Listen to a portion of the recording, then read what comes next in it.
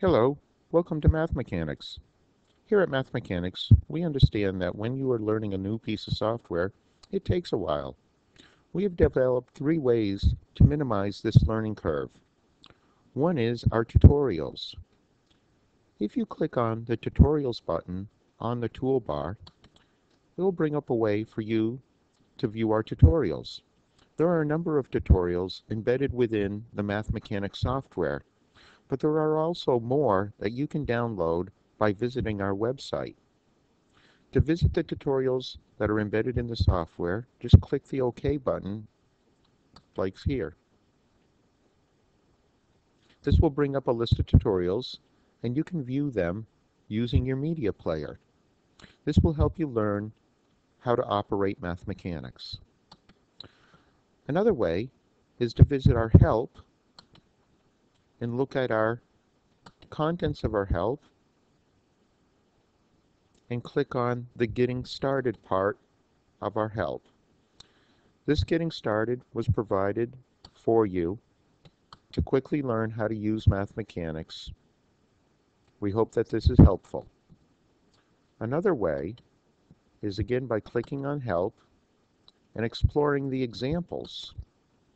The example files are another way for you to learn how to use math mechanixs. When you open them, they will give you examples of what was what's going on within math mechanixs and how to use it. And you can start exploring the different things that can be done within math mechanixs. We hope this has been helpful. We would love to hear your feedback. If you wish to communicate with us, please click on Help about math mechanixs and contact us via our website by clicking on this link.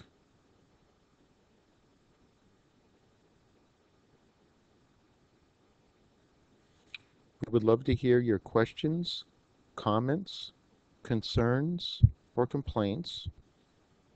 Please be sure to put in your correct email address here so that we can get back to you. Thank you. Also, you should periodically check to see if you are running the latest version of Math Mechanixs.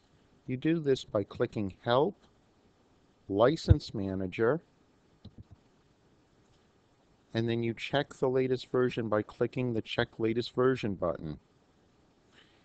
Once you've clicked the Check Latest Version button, you will get a message to tell you whether or not you are running the latest version.